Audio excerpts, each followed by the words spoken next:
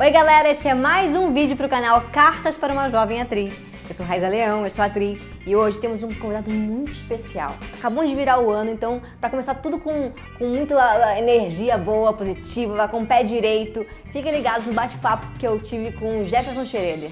Ele dá várias dicas maravilhosas, ele é um ator extraordinário, comediante, muita gente boa, então confere aí e depois me conta. Anota tudinho aí, tá bom? Beijo!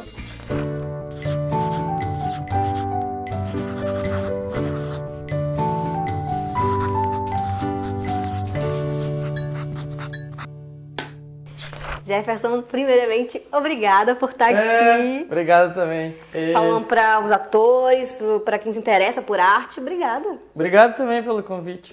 Para começar, eu queria que você falasse assim da sua formação, como é que você se tornou ator. Hum. Bom, eu desde criança queria ser ator. Sou de uma cidade pequena em Santa Catarina, de 55 mil habitantes, chamada Canoinhas, e lá eu fiz dois anos de teatro. Aí eu fui para Curitiba fazer o terceiro ano antes do vestibular e cogi- eu queria muito ser ator, mas daí tem aquela coisa que as pessoas ficam falando de que é muito difícil, ou que só na televisão que você é ator, aquela coisa, e eu com aquele universo de cidade pequena também. Aí, no cursinho pré-vestibular, tinha uma atriz chamada Sônia Moreno, que é lá de Curitiba, e ela ensinava pedaços dos livros que eram indicados pra gente ler pro vestibular. Então ela entrava na sala e ela fazia um pedacinho, e eu ficava muito encantado assim com aquilo. Daí eu fui conversar com ela, falei, ah, eu queria fazer um teatro, mas eu tô na dúvida, porque eu também eu desenho, então eu pensava em fazer alguma coisa com desenho, mas eu queria ser ator. Daí ela falou, cara, teu olho tá brilhando quando você tá falando de fazer teatro e tal. Faz vestibular para teatro. Aí eu fiz vestibular, não passei nos vestibulares porque eu não estudava direito, eu não gostava, não sabia nada, tipo até hoje não sei nada de física, química, não. E eu vim pra cá, pro Rio de Janeiro, passar férias na casa da minha avó. E eu, eu vindo pra cá, li numa revista, olha como as coisas são. Um ator falando numa revista de avião que ele tinha estudado na Cal e que a Cal era um dos melhores cursos do Rio. E eu acreditei naquilo, eu nem sabia que a Cal existia. Daí eu falei com alguém que. Aí eu soube que a Cal existia e pensei, eu vou fazer Cal. Aí minha família queria que eu fizesse uma faculdade, porque na época a Cal não tinha faculdade. E aí consegui, minha avó me chamou pra morar aqui e eu fui na Cal, tive uma aula com a Maria Esmeralda, desci a rua da Cal, minha mãe e minha tia me esperando, minha mãe e minha avó. E aí eu abracei elas e falei, é isso, eu quero fazer isso e tal. Daí fiz a Cal, me formei em 2007 no curso técnico. Tive dois anos bem difíceis depois que eu me formei, porque eu não conseguia trabalhar. E eu, durante a Cal, eu tinha a impressão que eu ia sair trabalhando. Acho que muitos de nós temos essa impressão. Aí entrei na companhia da Inês Viana, o Mondé, e comecei a fazer peças lá. Também em momentos difíceis, às vezes sem dinheiro e tal. Daí agora eu me formei de novo, me graduei pela Cal também. E é isso. Daí tô trabalhando como ator, vivo disso, faço isso sempre. A gente sempre escuta assim, nossa, do nada aquele rapaz apareceu, surgiu na televisão. Sim. E a gente sabe que não é do nada, né? Tá- a sua trajetória conta pra gente aí que é anos de estudo, batalha. É, 11 anos mais ou menos até agora que eu tô aqui apareci do nada. Pra mim também dá uma sensação de que foi do nada um pouco, no sentido de que muda muito de repente. Viralizou o making off do Porta dos Fundos e aí, tipo assim, mudou. Tudo mudou. A gente tem que fazer um vídeo só pra você fazer a voz do.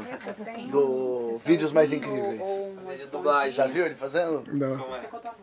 Naquela tarde, eu estava tão nervosa que eu não sabia o que fazer. Então, comecei a conversar com a Kelly. A Kelly queria muito ir para o Kansas, mas lá estava acontecendo um furacão. Como é que você tá lidando com essa, essa chave que virou aí? Muita gente te conhece, Instagram bombado. Como é que você tá lidando? muita coisa muda. No geral, é tudo para melhor, assim. É, mas eu, por exemplo, eu dei algumas entrevistas há um tempo atrás e eu reclamei um pouco. Eu falei, tá muito difícil, eu me irrito e tal. E aí eu, eu me dei conta esses dias que o que que aconteceu? Quando as pessoas me descobriram, eu tive uma, um tipo de... Foi difícil para mim, uma mudança de ter muita gente perto. Mas o que aconteceu? Eu tava entregando meu TCC, voltando com meu monólogo depois de um ano, e minha avó tava no hospital. Então, tipo, até emocionante isso, assim, ainda tô me vem minha avó, eu morei 11 anos com ela aqui no Rio. Ela pagou minha cal, se não fosse ela, eu não teria feito a cal. E ela dizia assim: "Ah, espero estar tá, tá viva até você ficar encaminhado". E aí, quando as pessoas descobriram o making off do Porta, ela teve um AVC e foi internada. Você vê como a vida desenha as coisas, né? E aí eu tava trabalhando muito e minha mãe tava me ligando, já você tem que vir pro hospital, tua avó tá mal, aqui no Rio. E aí um dia eu parei tudo, parei meu TCC e fui lá é, visitar minha avó. E aí cheguei lá, ela tava no hospital e aí ela tava deitadinha assim e ela fez assim, ela fez uma coisa para frente assim do corpo com uma energia que ela nem tava, né? Porque eu apareci lá. E aí ela falou assim com dificuldade, eu vi você na TV, ela falou, na TV do, do hospital. E aí, uns dias depois, ela morreu. E eu passei por isso. Então, assim, tipo, junto com tudo isso, eu tive que lidar com essa... Com a minha avó ter ido embora, assim. Então, nas entrevistas que eu dei perto disso, eu falei, cara, é muito difícil, é muita gente. E eu achei que eu não fosse saber lidar com essa quantidade de pessoas. Mas, assim, agora eu entendo que é super possível lidar. Então, tipo, é incrível, é incrível tudo isso, assim. Fora que você começa a trabalhar, essa quantidade de pessoas também gera em você, se você consegue lidar bem com isso, uma coisa que acalma até um pouco, porque assim, você vai vendo quantas pessoas são diferentes, porque a gente como ator, a gente fica muito inseguro no palco, né? Você fica mal de uma pessoa tá séria, uma pessoa tá não sei o que, de alguém que te critica, alguém que te fala alguma coisa. E a quantidade de pessoas no Instagram te dá uma sensação de que você não consegue dar conta da opinião de todo mundo. Então você passa a ter uma coisa mais com você, assim, sabe? Isso tem me ajudado mais, dá uma segurança maior tudo aprendizado, né? A gente vai se adaptando às novidades. Que Sim. bom que você tá bem. Né? É, tô bem. Você acabou de, de gravar o Cro, né? Tá, tá- já tá no, no cinema. Sim. É, você fez a sua personagem, a Geni. Como é que foi participar? Quando me convidaram pra fazer o Crow, eu pensei, pô, é legal, porque é um personagem que as pessoas vão pra ver o Crow. Muita gente foi ver a- o filme, é fã do personagem, né? E aí minha personagem não existia, nem na novela, nem no primeiro filme. E eu li o roteiro e gostei muito do roteiro. Eu tenho uma certa dificuldade de fazer alguns tipos de comédia, assim, né? É, que essa coisa meio clown, assim, ou de piada. Porque o meu humor tá mais nessa coisa de composição dos personagens, no jeito de fazer. E aí foi super legal. Eu conversei com a Sininha de Paula, diretora, eu falei, ó, tal, e se eu fizer ela mais realista, assim? E aí fiz e eu gostei muito, achei bem legal. Tem pessoas que não reconhecem que é um homem fazendo, quem não Olha me só. conhece. Então eu vi e gostei, achei que ficou. E como é que a Geni convidaria as pessoas para assistir o filme Cro e Família? Ela tem uma voz assim, roquinha, e ela é meio sexy. Eu diria para vocês assistirem Cro em Família e assistirem a Geni lá, ver se vocês vão gostar. Vocês querem saber do maior babado? Tá separado de novo, carente na fossa, triste sozinho. É, mas essa é uma história de cinema, hein, gente? Algumas entrevistas estão dizendo que, o- que o Fábio é seu padrinho. Ah. Você considera ele seu padrinho. Eu sei que foi a Celina Sodré que apresentou vocês, né? Acho que o Fábio deve ser, assim, padrinho de muita gente, porque ele é muito, assim, do bem, né? Impressionante. A forma que o Fábio tem, eu sempre lembro do Fábio. Foi isso, eu era assistente da Celina Sodré na Cal e o Fábio já trabalhava com a Celina, escrevendo, dirigindo com ela, o Instituto do Ator. E aí eu falei pra Celina, Celina, eu queria o telefone do Fábio pra mostrar uns personagens pra ele e tal. Daí liguei pra ele, falei, eu sou o Jefferson, assistente da Celina, ele falou, sim, sim. Marquei com ele, mostrei os personagens, anotei no papel, eu lembro a gente lá no instituto, assim, eu e ele. Daí eu, tem esse personagem, é assim. Aí eu, ah, eu imito esse vídeo. Aí eu, porque eu pensava, cara, todo ator dá entrevista e diz que fez alguma coisa de diferente, né? E aí eu fiz as vozes pra ele, dele me indicou pro Zorra Total. Daí eu mostrei lá no Zorra Total meus personagens. Dele me indicou pro Faustão, que foi horrível pra mim, assim. Eu fiquei traumatizado, que eu fiz uma apresentação meio ruim lá. E aí, agora pro final, pro final que eu digo assim, anos depois, apresentei meu monólogo e o júri me indicou, daí eu ganhei o prêmio do humor de melhor texto e melhor performance. E aí o Porta dos Fundos me chamou. Daí eu fiz o Porta dos Fundos. Primeiro vídeo que entrou, o making off viralizou. Então, nossa, Fábio é meu padrinho mesmo, assim, meu anjo da guarda. gratidão total. Que lindo. Recentemente você gravou um longa com Murilo Benício, Pérola. Como é que foi essa experiência? Nossa, incrível. É um te- texto do Mauro Razzi, né, de teatro, Pérola, que é levado para o cinema, então, para esse filme. E é um tipo de humor de situação. Então, assim, você ri da situação do pai da mãe, do casal, né? Quase assim uma comédia do cotidiano, né? Muito incrível. Nossa, tem um cuidado tipo chique, sabe? Esses dias eu tava, encontrei o Murilo, o Murilo falou: "Quer ver um pedacinho que a gente tá montando, mas tá assim só o esboço". E eu fiquei tipo: "Ah, "Tá muito bonito, sabe?" Então, foi muito legal pra mim. Nossa, e o Murilo de uma gentileza assim, tipo ele queria fazer alguma coisa, ele levantava, ia lá no ouvido da pessoa da equipe e falava: Aí sentava. E isso fica uma atmosfera de afeto, assim. É muito lindo mesmo. Queria entrevistar alguns dos seus personagens. Ah, vamos lá. Queria que a Kate me falasse é, uma dica para uma jovem atriz. O que eu quero dizer para vocês, meninas que querem ser atrizes, vocês precisam cuidar muito dos cabelos. É importante que nas cenas trágicas vocês sejam sempre sexys. Então, digam coisas do tipo: Oh meu Deus, eu estou desolada. O meu filho caiu do quinto andar. Tipo isso. Muito bom! imagina, todo errado, imagina. Uma aula de teatro com a Kate. O, e o bombeiro Brian, o que, que ele poderia falar da falta de grana para a cultura no Brasil e no Rio? Este é um assunto muito delicado. Eu sinto que os jovens deveriam ter cultura desde sempre.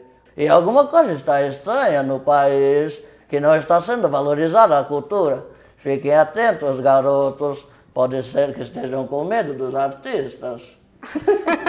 Muito bom.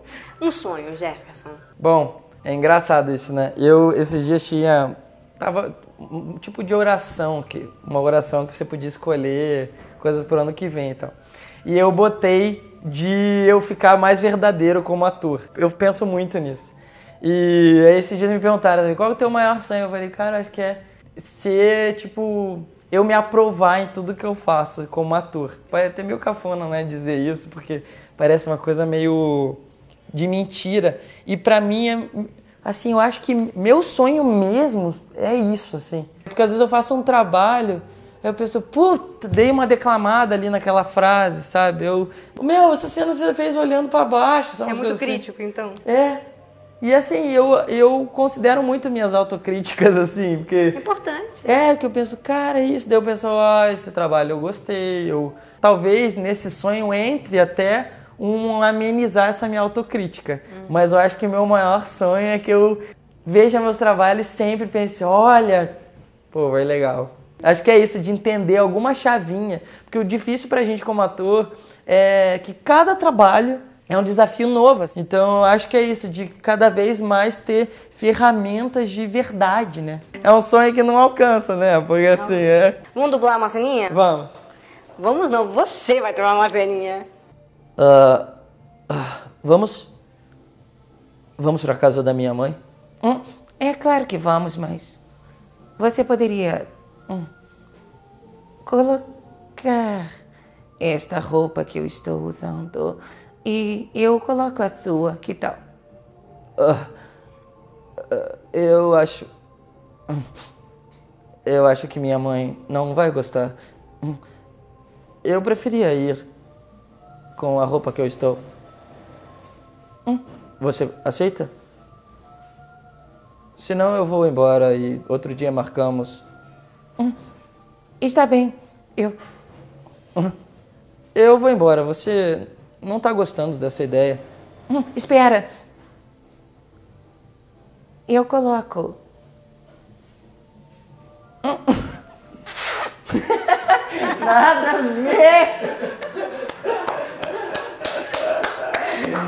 Ai, meu Deus. Tá gostando da entrevista? Se você tá gostando, deixa aquele like maravilhoso, se inscreva no canal, ative o sininho e acompanhe a gente nas redes sociais. No Instagram é arroba canal Cartas e no Facebook é Cartas para uma Jovem Atriz. A gente faz isso aqui especialmente pra vocês, tá bom? Beijo! Nós estamos chegando ao fim da Oh, meu entrevista. Quero então agradecer, Jeff, porque Obrigado. é um prazer estar te recebendo aqui. Tenho certeza que a galera vai ter, tipo, vai tirar muitas dicas bacanas aqui. É emocionante ver um cara tão talentoso, tão jovem, tão entregue e dedicado à profissão como você. Fiquei muito tocada mesmo de te receber aqui. Então, assim, um prazer mesmo, sabe, cara? Eu te desejo, assim, o melhor. Obrigado, eu achei lindo vocês me chamarem.